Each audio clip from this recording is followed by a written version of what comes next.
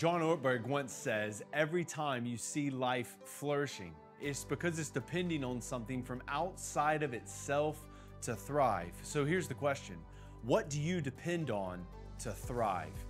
It's Pastor Thomas over here at Nashville First Baptist Church, and I would love for you to join us this weekend. We're in part five of seven, considering the different I am sayings of Jesus. And this week, we're considering what does it mean when Jesus says, I am the vine and you are the branches. We want to be a church that depends on Jesus. And this fits the theme of our year. It's first things first at Nashville First.